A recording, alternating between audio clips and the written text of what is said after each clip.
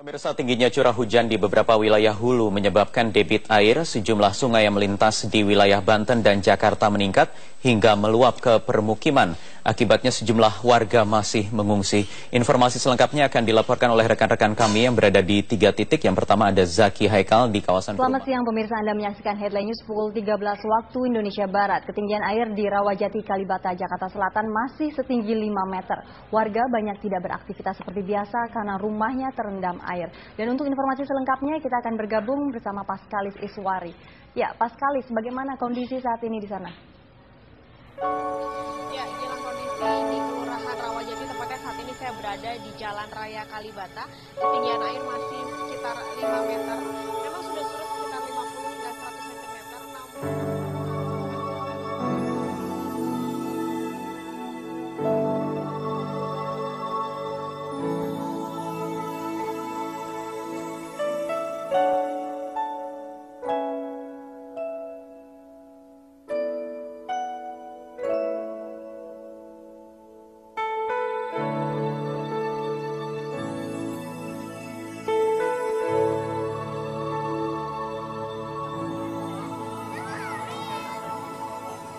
think about um, the generations and to say we want to make it a better place for our children and our children's children so that they they they they know it's a better world for them and think if they can make it a better place.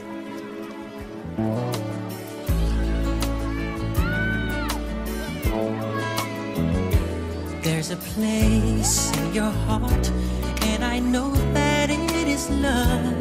And this place is much brighter than tomorrow. And if you really try, you'll find there's no need to cry. In this place, you feel there's no hurt or sorrow. There are ways to get there if you care enough for the living. Make a little space,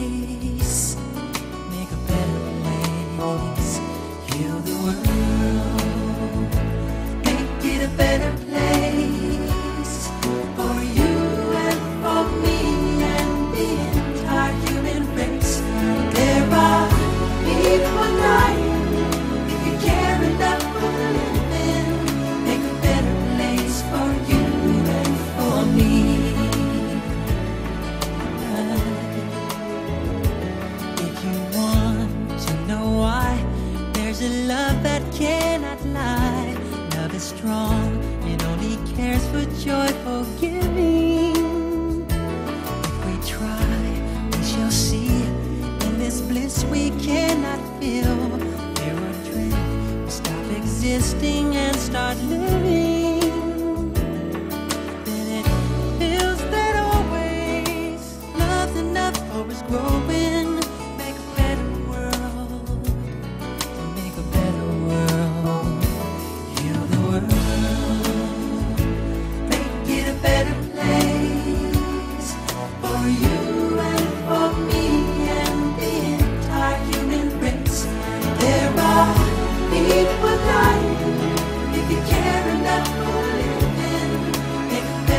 Place for